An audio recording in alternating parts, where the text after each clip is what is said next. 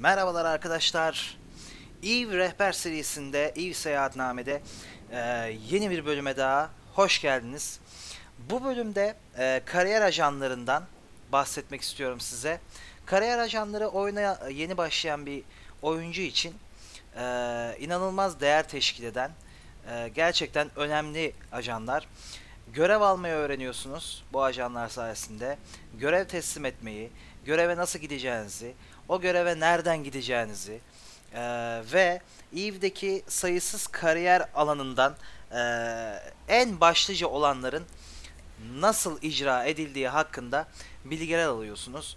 Biz de şu anda bir kariyer ajanının evine doğru yolculuk halindeyiz. Gemim e, henüz Gallente'nin başlangıç gemilerinden biri. E, çok gelişmiş bir gemi değil. E, zaten kariyer ajanları da yeni başlayanlar için özel tasarlanmış e, görevler. Bu yüzden devasa gemilerle, e, gelişmiş gemilerle gitmenize gerek kalmıyor. Bir günlük bir e, yeni başlamış daha 10 dakikalık bir karakterle dahi e, bütün kariyer görevlerini yapabilirsiniz. Yani kariyer görevi yaparken korkmanıza, e, bir şey kaybedeceğinizi düşünmenize hiç gerek yok. E, rahatlıkla bu görevleri icra edebilirsiniz. Peki kariyer görevlerine nasıl ulaşırız? Ondan birazcık bahsedeyim size. Öncelikle kariyer görevlerine tutorial görevini oynadıktan sonra yani eğitim görevlerini tamamen bitirdikten sonra e, otomatik olarak açılan Career Agents menüsünden ulaşabilirsiniz. Fakat o menüyü kaçırdınız ya da yanlışlıkla kapattınız. E, nereden ulaşacağınızı bilmiyorsunuz ya da tutorial görevini yapmadınız. E, zaten oyunun basit mekaniklerinden haberdardınız. E, yine de kariyer ajanlarına uğraşmak ulaşmak istiyorsunuz. O zaman e, şu yandaki Neocom menüsünden soru işareti e, yani help menüsünü ya da direkt F12'ye basarak açılan Eve Help menüsünü açıyorsunuz. Tutorial'ı yapmadıysanız buradan tutorial'ı tekrar e, tıklayarak ulaşabilirsiniz tutorial menüsüne. Fakat biz support menüsünden Show Career Agents yani Career Advancement e, tabındaki Show Career Agents'ı seçiyoruz. Tıklıyoruz ve kariyer ajanları karşımıza çıkıyor. Kariyer ajanları başlangıç seviyesinde 5 e, kariyeri temsil ediyor arkadaşlar. 5 ana kariyeri temsil ediyor. E, bu ana kariyerlerin içerisinde bir sürü alt alt meslek var. E, ve bu alt meslekleri, bu yan kariyerleri tek tek öğreniyorsunuz. Zaten bu yan kariyerlerden birini e, uygulayarak başlıyorsunuz. En azından bir karakterinizde. Biz şu anda Advanced Military kariyer ajanına gidiyoruz.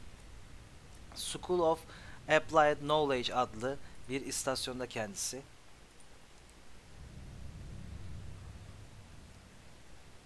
Kariyer ajanından görev alma e, konusuna gelmişken ha bu arada şunu bir saniye tamamlayayım.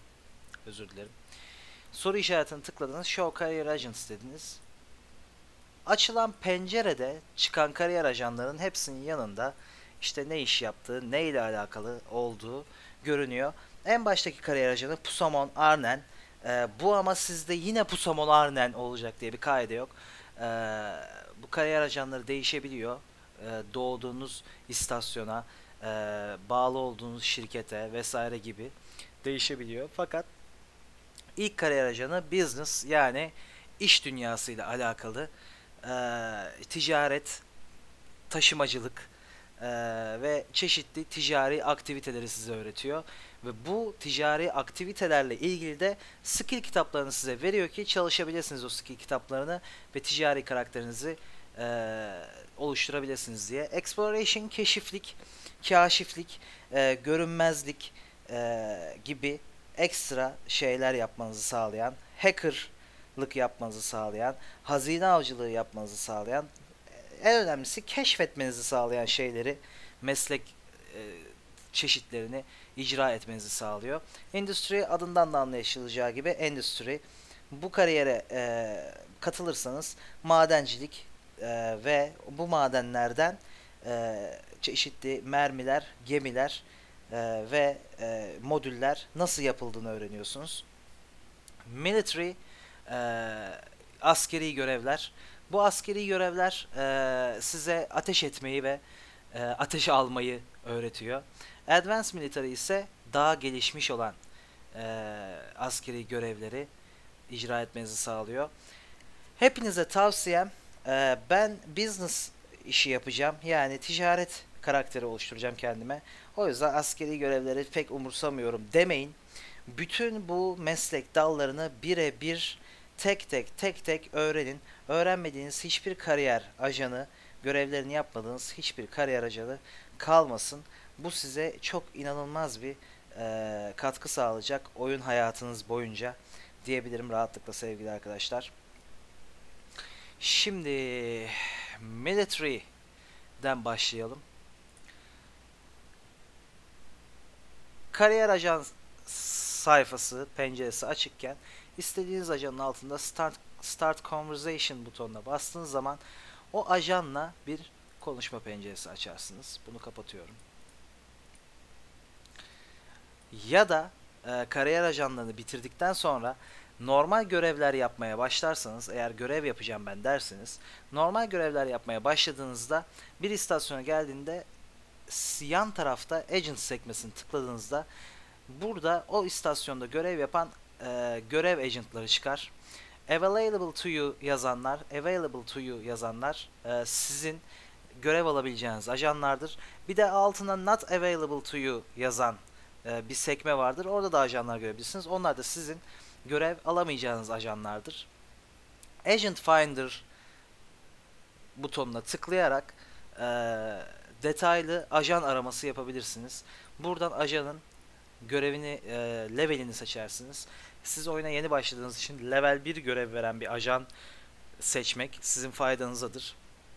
Daha sonra level 2, level 3, level 4 ve çok daha gelişmiş olan sadece e, kanunsuz bölgelerde bulunan level 5 ajanlara kadar görev almanız mümkün.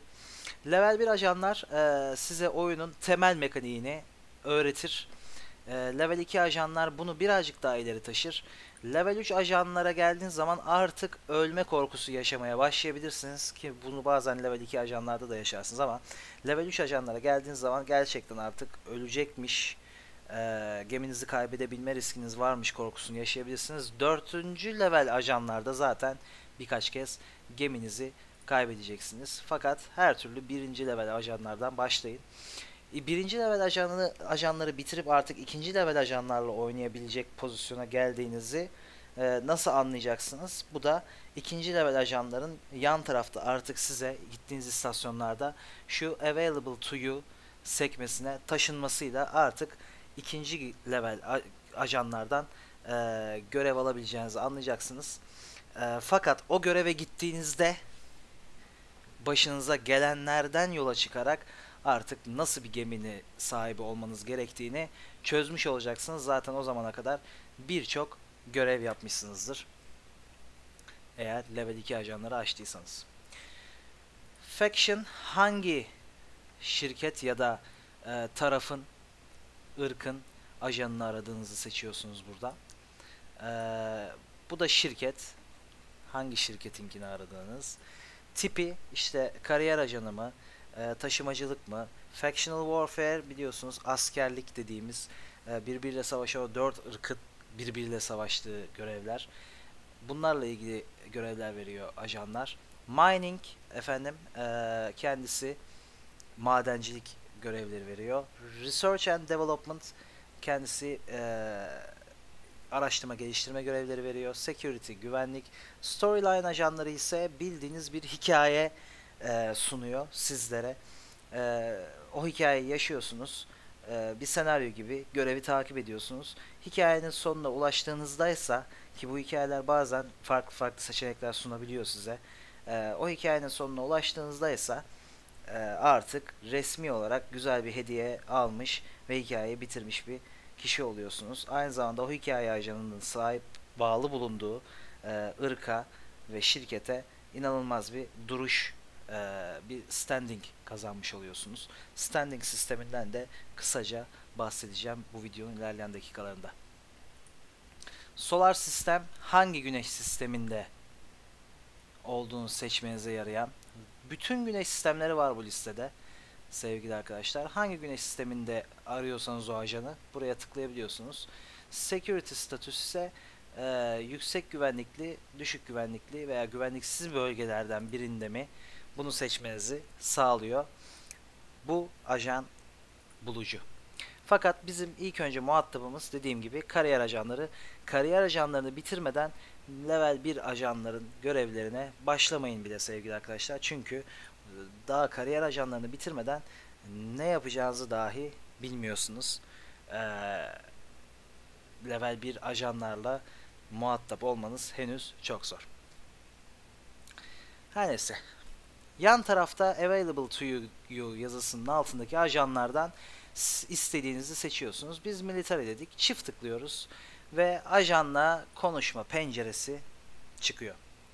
En üst köşede ajanın resmini görüyoruz.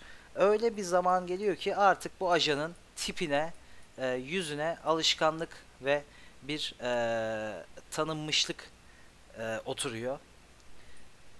Ve e, ajanı artık istasyonda 25 tane ajanın arasından ayırt edebiliyorsun. O sizin kankiniz gibi bir şey oluyor sevgili arkadaşlar. E, bu açıdan ajanların yüzleri gerçekten çok ilginç. Bu kariyer ajanını uzakta bulduysanız eğer ee, sağ tıklayarak set destination dersiniz ki biz şu anda oradayız. Ajanın bulunduğu eve gelebilirsiniz. Bu ajanın evi. Effective standing dediği bu ajanla görüşmek için gerekli olan standing yani bu ajanla görüşmek için herhangi bir standinginiz olması gerekmiyor. 0.0 yetiyor. Ee, eksi olmamanız önemli. Eğer eksi değilseniz işiniz zor. 10 tane görev veriyor sevgili arkadaşlar. Her kariyer ajanı 10'ar tane görev veriyor. Bu 10'ar tane görevi ki bazıları 5 tane veya 6 tane de verebiliyorlar. Fakat genelde 10'ar tane veriyor. Bu 10 görevi bitirdiğiniz zaman o kariyer ajanından bütün görevleri, bütün skill kitaplarını ve başlangıç modüllerini almış oluyorsunuz ve onun öğrettiği işle alakalı temeli öğrenmiş oluyorsunuz. Her zaman konuşma penceresinin sol tarafı görevin hikayesini anlatan, e, görevde size ne yapmanız gerektiğini çok da fazla söylemeyen fakat kimlerle karşılaşacağınızı ve o karşılaşacağınız düşmanın neler yapıyor olabileceğini ve bu işi neden yaptığınızı anlatan bir de birkaç tane şöyle kırmızıyla e, böyle altın çizerek e, size ipucu veren e, bir yazıyla karşılaşırız. Mesela burada da e, düşmanla yakın mesafe dövüşmek zorunda, savaşmak zorunda kalabilirsin demiş. Ee, böylece küçük bir ipucu vermiş olmuş. Bu görevi eğer kabul etmezsek, decline dersek e, bu ajandan standing kaybediyoruz sevgili arkadaşlar. Yani standingimiz eksiye düşüyor. Bu ajandan bir daha görev alamıyoruz. Ta ki bu ajanın bağlı olduğu şirketle e, veya herhangi bir başka bir bağlı olduğu ajanla standingimizi arttırana kadar bu bağcının bağlı olduğu şirket bu arada School of Applied Knowledge. Burası bir okul. Bunlar da öğretmenler sevgili arkadaşlar. Sağ tarafa baktığımızda ise artık bizi ilgilendiren, hikaye severleri ilgilendiren taraf sol taraftı. E, fakat görev ne kardeşim diye aceleci bir şekilde görevin ne olduğunu öğrenmeye çalışan arkadaşları ilgilendiren tarafta sağ taraf görevin ismi objektif görevde ne yapacağımız ee, efendim buraya gidecekmişiz öncelikle. Akai Navas'a gidecekmişiz. Peki bize görev öncesine verecek. Görevi kabul eder etmez Repair Systems adında bir skill book verecek. Rewards bu görevi bitirdiğimiz zaman e, bize ne hediye edecek? 75 mm Gatling Railgun Bakalım kendisine şöyle şu silahı verecek sevgili arkadaşlar. Çok hoş. Küçük bir silah. 75 mm. Ve 2000 adet Antimatter Charge S adlı ee, mermi verecek. Tabi bu mermi bonus e, ödülü. Bonus ödülleri her görevde var sevgili arkadaşlar. Kimi zaman bu görevi 40 dakika içinde tamamlarsınız. Kimi zaman 1 saat, kimi zaman bu görevde olduğu gibi 5 saat içinde tamamlarsanız bu bonus ödülü kazanırsınız gibi insanı bu görevi hızlı yapmaya teşvik eden bazı ödüller oluyor. Görevi iyice okuyun. Sizin e, bu görevi yapmanızı engelleyecek ya da zorlaştıracak bir şey olup olmadığına kesinlikle emin olun. Gerekirse internete girin, görevi araştır, araştırın. E, neyle karşılaşacağınız hakkında muhakkak fikir sahibi olun derken size çok önemli bir e, internet adresi vermek istiyorum. Browser'ımızı açıyoruz. Bookmark kımıza ekleyeceğimiz sitenin adı evesurvival.org .org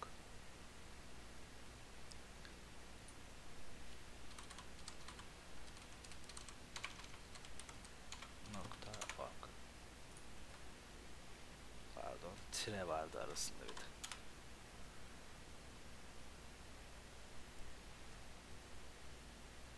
Hadi açıl.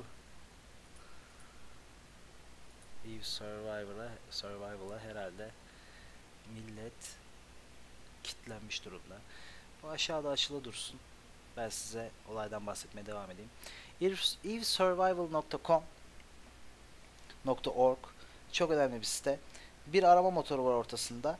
Bir ajandan görev aldığınız zaman o görevin ismini yani şunu o arama motoruna yazıyorsunuz. Size o görevde karşınıza neler çıkacağı ile ilgili inanılmaz detaylı bilgi veriyor. Öyle ki e, kullanmanız gereken silahtan vermeniz gereken hasara kadar hatta karşı tarafın size vereceği hasara kadar size detaylı bir şekilde görevi e, sunuyor. Siz de ona göre hazırlanıp gidiyorsunuz. E, bazen zorlanmadan geçebiliyorsunuz görevleri. Bazen sürprizlerle de karşılaşabiliyorsunuz. Ee, Eve Survival ama %99.9 her zaman görev hakkında doğru fikir veriyor size. Bu yüzden çok dikkatli olun arkadaşlar ve evesurvival.org'u kullanın diyorum. Hala açılacak. İlginç. Herhalde sitede bakım var. Her neyse. Sonuç itibariyle evesurvival.org önemli bir site dediğim gibi. Bunu evesurvivor.org olarak e, bookmarkınıza muhakkak add remove diyerek ad yaparak ekleyin. Çok önemli bir site. Evet. Tüm bunları araştırdıktan sonra accept diyoruz ve görevi kabul ediyoruz. Şimdi görevi kabul ettikten sonra görevin nerede olduğu şurada olduğunu biliyoruz. İstersek buradan sağ tıklayıp ee, set destination diyerek veya dışarı çıktığımızda oraya ışından diyerek gidebiliriz. Bazen bu yer 2-3 jump uzaklıkta olabilir. O yüzden sağ tıklayıp set destination deyip yola çıkabiliriz. Ya da direkt görevi kabul ettikten sonra ki bir de görevin size bir şey verip vermediğinden dediğim gibi inanılmaz derecede emin olun. Örneğin bize Repair Systems diye bir kitap verdi. Repair Systems'ı ekliyoruz. Apply diyoruz. Madem çalışalım Repair Systems varken. ve undock diyoruz çıkıyoruz. Buradaki menüde küçük bir değişim oldu gördüğünüz gibi. Şimdi dışarı çıkınca daha da net anlaşılacak. Şurada bulunduğumuz uzay işte güneş sistemi, güvenlik vesaire bilmem ne bu zaten vardı. Rota bizim rotamızdı. Şu anda bir rotamız yok. Ve Agent Missions diye bir şey eklendi buraya diğer ajanlardan aldığımız görevleri böyle aşağı aşağı aşağı aşağı sıralayacak sevgili arkadaşlar bu. Ve e, hepsini toplu halde alıp toplu halde yapabiliriz. İstersek tek tek de yapabiliriz. E, isimlerini karıştırmamak şartıyla. Biz tek bir görev aldığımız için şu anda e, tek bir görevimiz var. Çok da açıkçası şey değil. Bu arada biri bana e, sağlık gibi bir şey yapıyor ilginç. Bakıyoruz korkayım diye yapıyor herhalde. Evet. Peki göreve nasıl gidiyoruz sevgili arkadaşlar? Tıklıyoruz. Agent Home Base. Bu ajanın evi. Yani az önce çıktığımız istasyon. Bir de Encounter var. Yani görevin gerçekleşeceği alan. Warp to Location dersek görevin gerçekleşeceği alana bu arkadaş ışınlanır.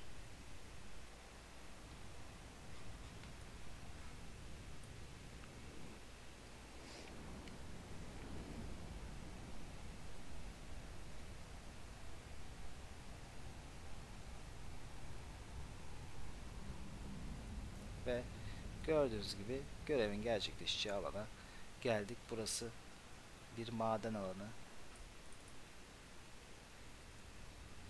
Bu arada fark etmişsinizdir ki silahım yok. Ee, çünkü bu göreve e, hazırlanarak gelmedim. Ee, size dövüş mekaniklerinde göstermeyeceğim. Sadece kariyer ajanından nasıl görev alınır ve kariyer ajanında görev nasıl teslim edilir bunu öğretmek için bu videoyu hazırlıyorum. Kariyer ajanlarının hepsi silah, dövüş, savaşla alakalı değil.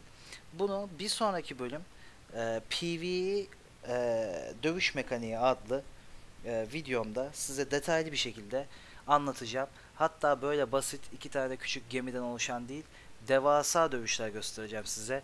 Megatron'uma bineceğiz. E, Battleship'ime ve devasa dövüşlere katılacağız. O dövüşlerde kullandığım teknikleri, kapasitörü nasıl kullandığımı, e, zırhımı nasıl yenilediğimi e, ve CPU dengesini gemiye kurarken e, geminin üzerine modülleri takarken nasıl kurduğumu, sonra o görevi nasıl yaptığımı, görev sonrası parçalanan gemilerin enkazlarını nasıl paraya dönüştürdüğümü size detaylı bir şekilde anlatacağım. Ama şimdilik sevgili arkadaşlar, e, ajanlardan görev almayı gösterme amaçlı size bu göreve aldım ve gösterdim. Gördüğünüz gibi görev yerine gittik. E, görevimiz şu arkadaşları vurmaktı. Seçtik, vurduk, görevimizi bitirdik. Agent Home Base'e geri dönüyoruz.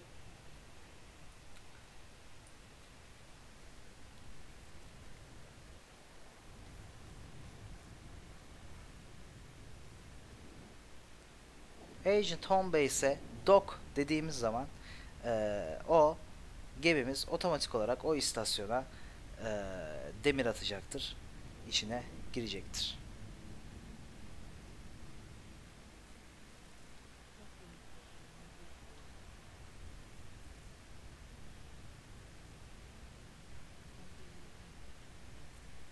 Gördüğünüz gibi istasyona girdik. Bu arkadaş artık görevini bitirdiğimiz bir arkadaş. Gelir gelmez bu arkadaşla konuşup complete mission dersek sevgili arkadaşlar bu görevi bitirmiş oluruz. Ee, tekrar arkadaşla baş start conversation deyip tekrar bir konuşmaya başlarsak bize bu görev serisinin ikinci bölümünü verecektir. Dediğim gibi sevgili arkadaşlar e, kariyer ajanlarıyla e, bu şekilde görüşüyorsunuz. Görevinizi alıyorsunuz ve e, teslim ediyorsunuz. Ödülünüzü alıyorsunuz. Bütün kariyer ajanlarıyla görüştüğünüz zaman çok sağlam bir skill book setiniz e, ve o skillleri çalışacaksınız. Çok sağlam bir başlangıç skill seviyeniz e, ve oyun mekanikleri hakkında artık temeli oturmuş sağlam bir bilginiz olmuş olacak. Daha sonrası artık size kalıyor. Bu kariyer ajanlarından hangi yolu beğendiyseniz o yolun dibine kadar gitmekte özgürsünüz. Oyun size ne haliniz varsa görün der gibi uzayın derin boşluğuna bırakıyor ve e, siz de o uzayın derin boşluğunda kendi kararlarınızı vermek zorunda kalıyorsunuz. Sevgili arkadaşlar, e, kariyer ajanları hakkında ve görev alıp görev teslim etme hakkında bahsedeceğim şeyler bu kadar. Bir sonraki bölüm e, oyunun artık savaş mekaniklerine gireceğiz. Birazcık aksiyonun içine dalacağız. E, hafta sonu muhtemelen e, yeni videoyu çekeceğim ve sizlerle paylaşacağım. Aynı zamanda Heroes of the Storm ile ilgili e, ki Blizzard'ın yeni oyunu Heroes of the Storm ile ilgili bir kanal hazırlıyorum. E, bu kanalın hazırlıkları da tüm hızıyla sürüyor. E, orası da çok eğlenceli bir kanal olacak. Yakında sizlerle paylaşacağım. O kanalı da desteklemenizi sizden rica ediyorum. Oyun içerisinde bana yazan arkadaşlar var. Herkese çok teşekkür ediyorum bana ulaştıkları için. Hepsine tek tek tek tek yardımcı olmaya çalışacağım. Ee, ki zaten şu anda bile yardımcı oluyorum. Ee, kanalımı takip eden arkadaşlar, kanalımdan bana yorum atan arkadaşlar, e, bana destek veren arkadaşlara da çok teşekkür ediyorum. Aynı zamanda oyun içerisinden oyuna yeni başlamamış, yıllardır bu oyunu oynayan ve e, benim kanalımı gördükten sonra emeğime destek vermek isteyen, oyun içerisinden ve oyun dışından bana destek veren, e, tanımadığım fakat artık e, kim olduklarını çok iyi bildiğim, e, özellikle Veli Yandaç adlı e, arkadaşımıza çok ama çok teşekkür ediyorum. E, ve diğer bana destek veren bütün arkadaşlara çok teşekkür ediyorum. E, hepinizi çok seviyorum. E, bir sonraki videomuzda görüşmek üzere arkadaşlar. Hoşçakalın.